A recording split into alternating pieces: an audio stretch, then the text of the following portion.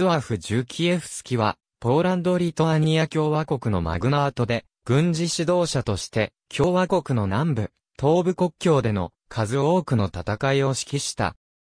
1588年より、王冠領野戦へ、トマン、1590年より、リビウ城代、1613年より、王冠領代へ、トマン、1618年より、キエフ県知事及び王冠領大法官など共和国の最高官職を歴任し、モスクワロシア、オスマン帝国、タタールとの戦いで、共和国軍に偉大な勝利をもたらし、ヨーロッパの軍人としては初めて、ロシアに攻め入ってその首都モスクワを占領した。しかしその類まれなる軍事的才能で、モスクワを占領した名将としての仕事も、さることながら、モスクワ遠征における彼の真の歴史的功績は、議会の代表者として、ロシアやスウェーデンへの宗教的野望を抱える自国の王ジグムント3世を戒め、当時のポーランドの体制的基盤となっていた。思想信条の自由の原則を貫き、ツァーリ独裁の伝統に反対するロシアの民主派と結んで民主的な立憲君主主義の国家連合の実現に向けて奔走した大政治家としての仕事ぶりであろう。第二次を委員法位でトルコの侵略からヨーロッパを救ったポーランド王ヤン三世、ソビエスキは彦。リビウの学校で学んで数カ国語を習得した後、国王ステファン・バートリの秘書官となった。1594年から1596年にかけて、ウクライナヘトマンのセヴェルィーン・ナルィヴァーイコが率いるコサックの反乱を鎮圧した。また1607年にゼブジドフスキの反乱においては、グズフの戦いで反乱軍を破った。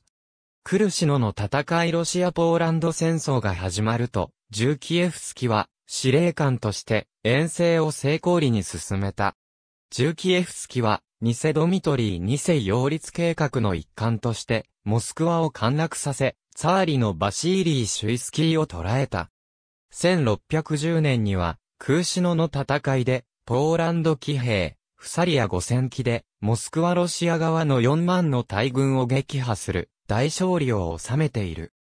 ジューキエフスキは、国王ジグムント3世の長男ブワディスワフのツァーリ王立、及び共和国とモスクワロシアとの同訓連合構想の推進を支持した。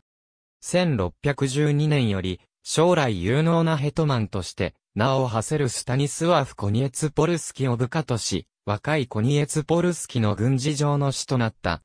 1612年及び1617年、モルダビアとウクライナで軍事遠征を指揮した。弱い70歳を超えていたにもかかわらず、彼は死の瞬間まで現役の指揮官として精力的に活動を続けた。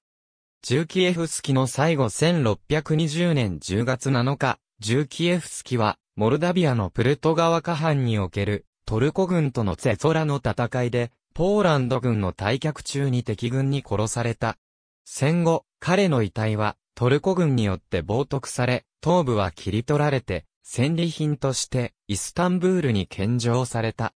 頭部は、その後、セツォラの戦いでトルコ軍の捕虜となった息子のヤンと共に未亡人のもとに返された。彼は、自らが建設した都市ジューキエフの聖バブジニエツ、教会に埋葬された。死後、彼は、聖なる信仰を守るために、異教徒に殺されたキリスト教戦士として、伝説的な存在となった。